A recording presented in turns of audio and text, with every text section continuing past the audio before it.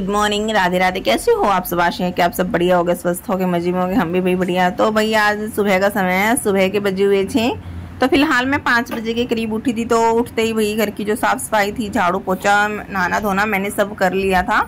और एग्जैक्ट अभी छः ही बजे थे तो मैं अभी किचन में आ गई थी। तो मैंने यहाँ पे अपने हस्बैंड को पानी दे दिया था कि आप भाई उठ जाओ जल्दी से। और साथ में मैंने भी यहाँ पे पी लिया था। और यहाँ पे मैंने सबसे पहले भाई अपने लिए चाय रख दी थी। क्यों? सुबह उठते भी चाय पीने का मन तो करता ही है काम करके। तो मैंने अपना एक गैस पे चाय रख दी थी और दो थोड़े बहुत जो बर्तन रखे थे, रात को धोए थे, पहले मतलब रात को धोए थे ना, वो मतलब बर्तन रखे थे तो उनको मैंने स्लेब पे अपने काउंटर से उठा के अपने स्टैंड में रख दिया था फटाफट से। बच्चे अभी सो ही रहे थे और रात को मैंने ना छोले भी गोए थे। भाई आज छोले चावल बनाने हैं मेरे को तो मैंने रात को छोले भी गोए थे। तो मैंने इनको फटाफट से भाई पानी डाल के उनमें और मतलब नमक और हल्दी डाल के मैंने गैस पे रख दिए थे उबलने के लिए, ताकि बॉयल हो जाए। कुकर का मैंने यहाँ पे आज इस्तेमाल नहीं किया था, मैंने तो इसमें टोपिए में ही उबालना चाहे थे, लेकिन इसमें बहुत ज़्यादा टाइम लग जाता है। लेकिन चलो भाई, बनाने तो थे ही। तो गैस में यहाँ पे मैंने बॉयल होने के लिए छोले रख दिए थे और गैस पे मतलब चाय रखी थी। तो मेरी यहाँ पे चाय है जो फटाफट से बन के तैयार हो गई थी। तो मैंने इतना अपनी चाय रख दी थी और साथ में सिंक में एक दो बर्तन थे तो मैंने सोचा चलो इनको साफ़ कर देती हूँ, क्योंकि मेरे हस्बैंड अभी फ्रेश होने गए थे तो मैंने सोचा चलो भाई, साथ में ही चाय पीते हैं। तो मैंने इतना चाय को ना साइड में रख दिया था और मैंने अपने बर्तनों को साफ़ कर लिया था और इसी बीच मतलब मेरी बेटी भी उठ गई थी। आज बेटा पहले नहीं उठा, उसको अभी नींद ही आ रही थी, वो नींदों में ही था, लेकिन मेरी बेटी पहले ही उठ गई थी। और साथ में मेरे को ना चावल बनाने थे तो मैंने अपना भाई, जो चावल का मेरा मेज़रमेंट है, मैंने उसको कर लिया था। मैं मैं ना बस एक ही गिलास चावल बनाती हूँ, वो बहुत होते हैं। तो मैंने यहाँ पे चावलों को फिर अच्छे तरीके से मतलब धो लिया था, तीन से चार बार धो दिया था मैंने अच्छे से। तो उसको धोने के बाद एक दो गिलास मतलब उसमें पानी डाल के रेस्ट होने के लिए रख देती हूँ। क्योंकि पानी डाल के रख देते हैं ना, उसके बाद अगर हम चावल बनाते हैं तो मतलब फटाफट से बन जाती है, इतना टाइम नहीं लगता। उसमें बनने में फिर? तो मेरे को ना बीच बीच में अपनी बेटी को देखने के लिए भी जाना पड़ता है। जैसे खिलौने दे देती हूँ तो आराम से मतलब बेड पे बैठ के खेल लेती है, वरना तो उसका मतलब बेड से नीचे गिरने का डर रहता है। वरना तो मैं उसको ना साथ में बाहर ही बैठाती हूँ, लेकिन आज मैंने ना उसको साथ में बैठाया नहीं था क्यों? अंदर अभी चाय पीनी थी तो अंदर ही पीते हैं हम चाय। तो इसलिए मैंने ना उसको खिलौने से दे दिया था, ऐसे बैठ के वो आराम से ऐसे खेल लेती है, ऐसे तो। और साथ में ही जैसे मैंने अपने बर्तन साफ़ किए थे और मेरे हस्बैंड भी साथ में ही आ गए थे भाई फ्रेशअप हो गए तो उसके बाद हम साथ में मतलब अपनी चाय को मतलब पीते हैं साथ में इंजॉय करते हैं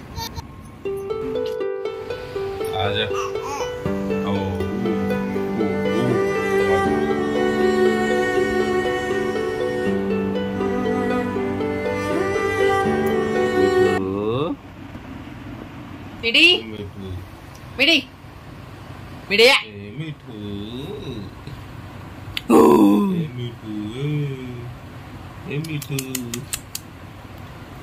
तो दोस्तों यहाँ पे हमने अभी अब अपनी चाय पी ली थी और मेरी मतलब बे, बेटी जो आराम से ही बैठी थी और बेटा भी नींदों में था अंगड़ाइया अंगड़ाइया लेगा वो।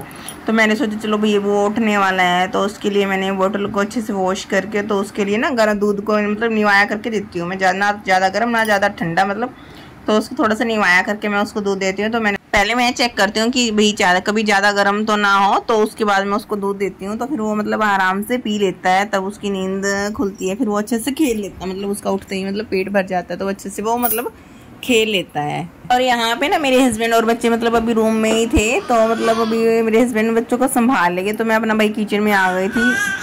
तो ना मेरे को ना सेमियों का नहीं पता था तो मम्मी ने तब बोला था, भाई सेमिया बना लेना थोड़ी सी सगुन की मतलब सोन के नाम की मखा चलो भाई, ठीक है, बना देते तो मैंने भी थोड़ी सी सेमिया को चढ़ा दिया था। सेमी बनने में इतना टाइम नहीं लगता। बस दो बाल में ही बन जाती है ये। तो मैंने गैस पे अपना वही सेमिया रख दी थी और साथ में जो चाय वाय पिए थे तो थोड़े से बर्तन हो गए थे। तो मैंने साथ में उनको भी भाई साफ़ कर दिया था। थोड़े थोड़े होते हैं ना तो जो साथ साथ में अगर हम साफ़ कर देते तो इतने सारे नहीं होते। अगर हम इकट्ठे करते रहते ना, सिंक में तो मतलब बाद में धोते ना एक तो ज़्यादा टाइम लगता है और मतलब बहुत सारे बर्तन लगते हैं पता नहीं इतने क्या कितने हैं। और थोड़ी सी प्रॉब्लम हो जाती है कि मांझ मांझ के रखे कहाँ तो मतलब थोड़े थोड़े अगर मैं साफ़ कर देती हूँ ना तो मेरे को अच्छा सा लगता है। और यहाँ पे इतना मैंने अपने बर्तन वर्तन साफ़ किए तो मेरी सेवियाँ भी, भी अच्छे से उबल गई थी और वो मतलब बनकर तैयार हो गई थी। तो इसी बीच मैंने वही अपना चावल बनाने थे तो चावलों का पानी ले लिया था और वो रख दिया था गैस पे। और मैं जो मेरी सेवियाँ ये बन गई थी अभी मैंने चेक किया था तो ये अच्छे से फूट रही थी। मतलब ये बन ही गई थी फ़िलहाल। तो मैंने इनका पानी निकाल के रख दिया था और उस इसी बीच मतलब अपनी गैस पे चावलों का पानी रख दिया था उस चावल डाल के उसमें रख दूँगी ताकि वो चावल बनते रहे। तो ना मेरे को ना आज पता नहीं था भाई दीदी आने वाली है तो, तो पक्का कन्फर्म नहीं था थर्टी को आएगी थर्टी वन को? तो मम्मी ने अभी बताया था भाई दीदी आने वाली है तो मैंने सोचा चलो भाई रूम की भी नक्शा बिगड़ जाता है। मॉर्निंग के टाइम में तो सबके ही मतलब घर में यही हाल होता है। भाई सो के उठते हैं तो। तो मैंने सोचा, चलो भाई अपनी चद्दर वद्दर को थोड़ा सा ढंग से बेडशीट को अच्छे से मतलब ढंग से हटा दूँ। मतलब बच्चे आएँगे तो अच्छा सा नहीं लगता फिर ऐसे। तो यहाँ पे तो मैंने अपनी चद्दर वद्दर को भी सेट कर दिया था। और रात को मैंने ना कपड़े धोए थे तो वो मैं छत से उतार के लेके आई थी। तो कुर्सी पे ही रखे थे मेरे। तो मैंने ना इनको भी समेट के रखना था तो मैं फ़िलहाल इनको समेटने में लग गई थी और साथ साथ में बच्चों को भी संभालना होता है, थोड़ा मुश्किल सा हो जाता है तो फिर। और मैंने ना अपना बेटा मतलब मेरा बेटा और मेरे हस्बैंड अभी नहाने के लिए छत पे गए थे, साथ में उनकी माँ जी भी मतलब छत पे ही गई थी, वो तीनों मतलब छत पे ही थे। तो मेरे ऐसे बीच किचन का काम होता है और वो बेटी को संभालना होता है तो वही करना तो पड़ता ही है, मुश्किल हो जाता है थोड़ा सा क्यों? इसका नहीं पता होता, बच्चे तो क्या पता भीग गए किस टाइम कवर होने लग जाए तो मुश्किल हो जाता है थोड़ा सा तो यहाँ पे मैं अपने वही कपड़ों को समेटने लग गई थी और ये मेरी बेटी है ना, मेरे पास बार बार भागी आ रही थी। मैं इसको थोड़ा पीछे बिठाती, फिर आ जाती, पीछे बिठाती, फिर आ जाती। मतलब थोड़ा सा अच्छा सा भी लगता है मतलब परेशान कर देती है। काम मतलब पाँच मिनट में होने वाला तो उसको दस मिनट में कर देती है। आधे घंटे काम को एक घंटा लग जाता है करते करते बच्चों के साथ बस ये परेशानी होती है और तो बाकी कोई परेशानी नहीं होती भाई। और साथ में मतलब कपड़े मैंने लगाई थे तो साथ में मेरा बेटा भी आ गया था नहा के ऊपर से। तो मैंने भी उसको भी मतलब अब उसके कपड़े पहना दिए थे, बालों में तेल लगा दिया था, काजल वाजल, काजल भी लगा दिया था साथ में और मेरी बेटी तो भी, मेरे हस्बैंड बोले, ले अपनी इसको और संभाल ले। तो फिर ये भी साथ में ही बैठी थी, ये देख रही थी भी मम्मा भैया को क्या कर रही है? तो ध्यान से देखती रहती है ये, बोले, क्या कर रही है मम्मी? तो इसको भी वैसे, इसको भी मैं बालों में तेल लगाती हूँ ना, इसको भी अच्छा लगता है, जैसे इसकी मालिश करती तो ये काफ़ी इंजॉय करती है अपनी मालिश को भी।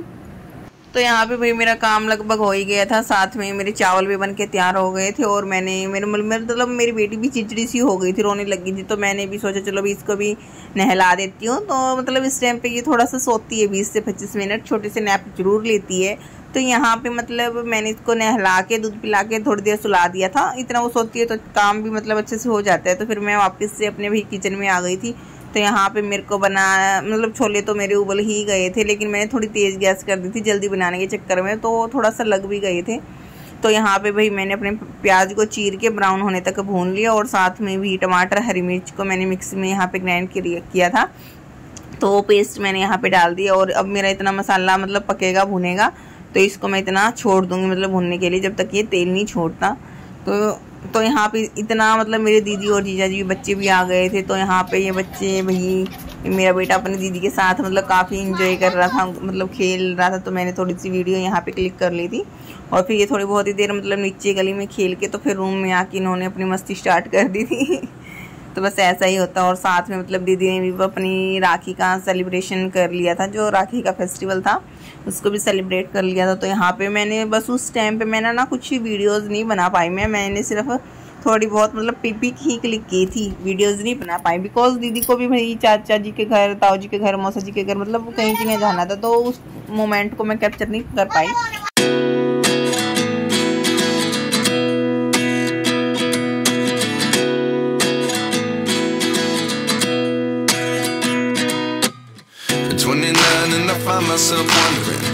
What did happen to the last ten. I ran away with my life, fast forward, never turn back again.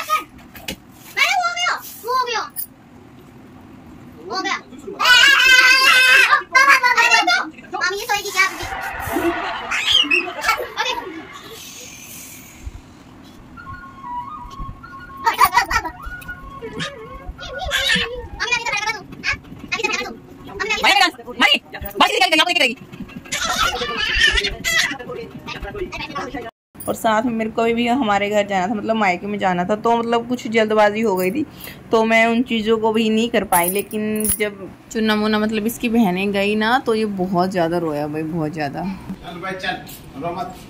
चले?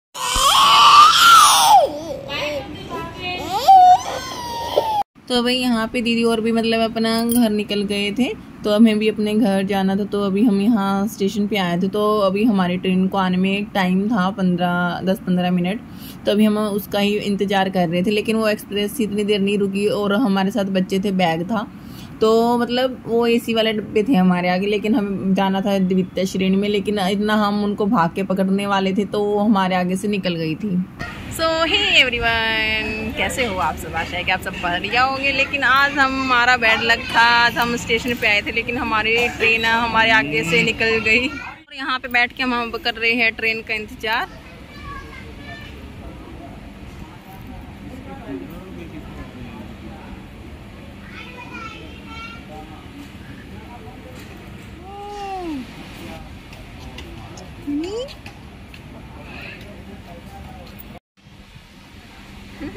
मानी मानी इधर देखो।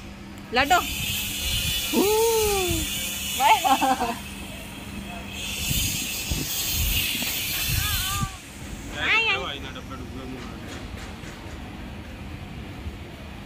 सो गाइस अभी हम कर रहे हैं यहाँ पे स्टेशन पे खड़े हो गए ट्रेन का इंतज़ार और हमारी ट्रेन निकल चुकी है। तो अभी सभी बैठे तो दोस्तों मैं तो ये सोच रही थी भाई ये नेक्स्ट ट्रेन पे अगर हमारे हाथ नहीं आई ना तो भाई हम तो वापस ही मतलब अपने घर चले जाएँगे तो हमें नहीं जाना अपने मायके तो मैं तो यही सोच रही थी क्यों? काफ़ी अंधेरा हो गया था बच्चों के साथ लेकिन एक घंटा तो हमें इंतज़ार करना था तो काफ़ी इंजॉय किया हमने वहाँ पे बैठ के चिप्स खाए कुरकुरे खाए मस्ती की तो मैंने इन मोमेंट्स को भी मैं कैप्चर कर लिया। और इसी बीच मतलब साढ़े सात बजे का टाइम हो गया था इंतज़ार करते करते अंधेरा भी काफ़ी हो गया था। तो भाई हाल हाँ की मतलब लास्ट में हमें फिर वहाँ पे ना ट्रेन मिल ही गई थी तो हम ठीक ठाक से मतलब भगवान जी की दया से हम अपने घर पे चले गए थे अच्छे से। ट्रेन मिलने के बाद जब हम घर पे आए तो काफ़ी मतलब रात हो गई थी तो आगे मैंने व्लॉग शूट नहीं किया तो यहाँ से अभी एक नेक्स्ट डे से शुरू हुआ तो नेक्स्ट डे हमने मतलब फेस्टिवल बनाया था राखी का तो ताऊ जी की लड़की चाचा जी की लड़की भी मतलब आई थी भाई और राखी बांधने के लिए मतलब बहुत अच्छे से सब कुछ निमट गया था। तो यहाँ पे भी मैंने बस क्लिक ही पिक ही क्लिक की थी बस वीडियो नहीं बनाई मैंने।